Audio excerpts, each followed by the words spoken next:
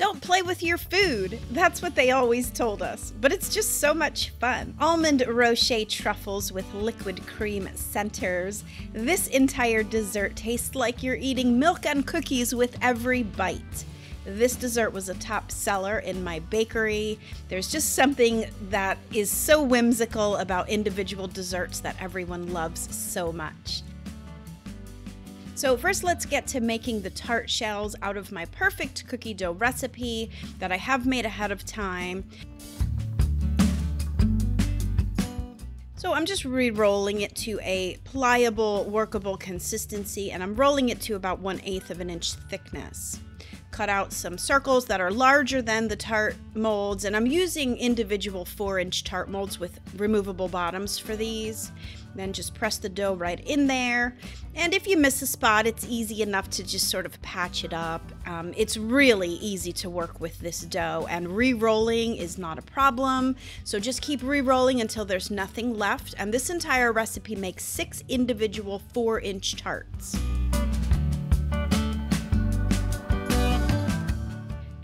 With a fork in the bottom is going to help let the steam escape as they bake. And I've preheated my oven to 350 degrees Fahrenheit.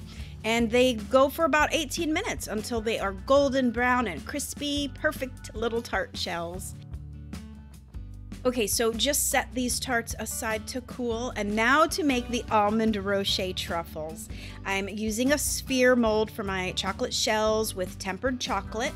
And if you don't know how to temper chocolate, you can watch my tutorial and learn how to do it, or you can simply use a coating chocolate which doesn't require tempering. And I'll leave links to everything in the written recipe post on my website at gretchensveganbakery.com.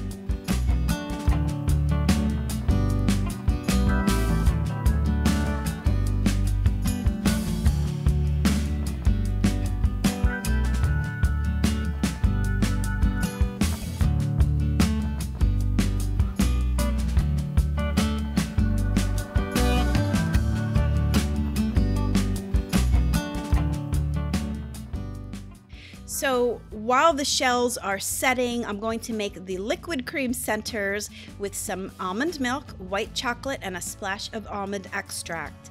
By melting the white chocolate with the milk and some of this extract, this is basically just a really thin white chocolate ganache that stays liquid inside the truffle shells.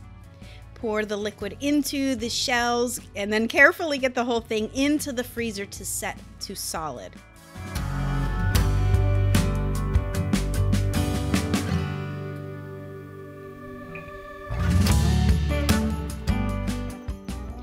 I'm not gonna lie, this project ended up being really difficult to film since the liquid centers, well, they want to be liquid, and this isn't really possible. They thawed out so quickly. To catch the entire process of this on video, just walking from the freezer to this table with the hot lights for the cameras, these liquid centers turned back to liquid almost instantly. So it was just easier for me to work near the freezer so that I could go in and out one at a time. But you get the idea. I'm just gluing the two halves together with more chocolate, a quick plunge into more tempered chocolate, and then rolling the entire thing in crushed toasted almonds. These are some gigundo truffles for sure. So let's move on to the almond custard. It is three ingredients with just sugar and cornstarch and plant milk. Some almond extract is optional, and just boil it up to a silky, creamy custard. Get that portioned into the tart shells, and then once the custard is set, which happens pretty quickly, just the right amount of chocolate ganache goes on top for a really nice contrast.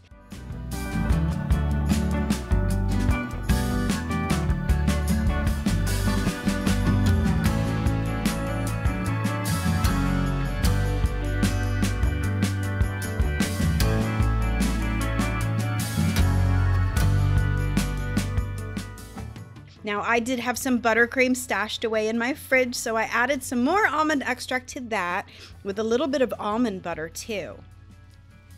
Those gargantuan almond rochers go on top, and while this dessert looks so elegant, it also quickly turns into a whimsical, playful dessert once you crack open that truffle and reveal the liquid cream centers. I am telling you, every bite of this tart tastes like dunking cookies into milk. I'm thinking we may just have to turn this one into a layer cake somehow. What do you think?